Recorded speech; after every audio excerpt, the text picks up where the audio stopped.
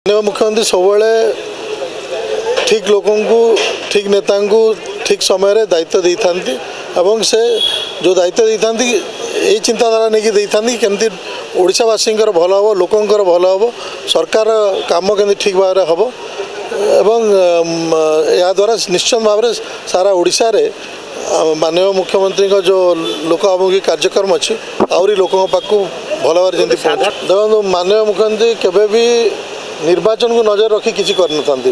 ସେ ଓଡ଼ିଶାବାସୀଙ୍କୁ ନଜରରେ ରଖିକି ଯାହା କିଛି କରିଥାନ୍ତି ଏହି ନିଷ୍ପତ୍ତି ବି ଯାହା ବି ହେଇଛି ଓଡ଼ିଶାବାସୀଙ୍କ ମ, କେମିତି କାମ ହେବ ଆହୁରି ଲୋକଙ୍କ କେମିତି ସୁବିଧା ହେବ ସେ ଦିଗରେ ଚିନ୍- ସେ ଚିନ୍ତାଧାରା କରିଛନ୍ତି। ଧନ୍ୟବାଦ। ଡିପାର୍ଟମେଣ୍ଟାଲ ରିଭ୍ୟୁ ଆରମ୍ଭ ହେଇଛି।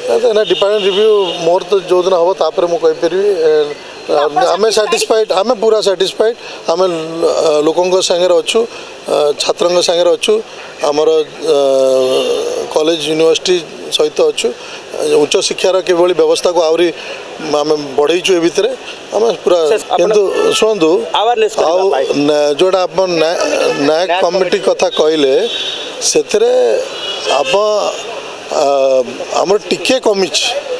ଆପଣ ଯେମିତି ଆ, ଯେମିତି କହୁଛନ୍ତି ବହୁତ ଆ, କମିଗଲା ଭଳିଆ।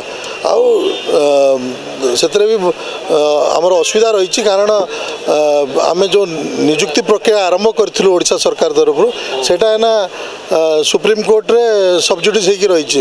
ସେଥିପାଇଁ ସେଥିରେ ଟିକେ କମିଯାଇଥିବ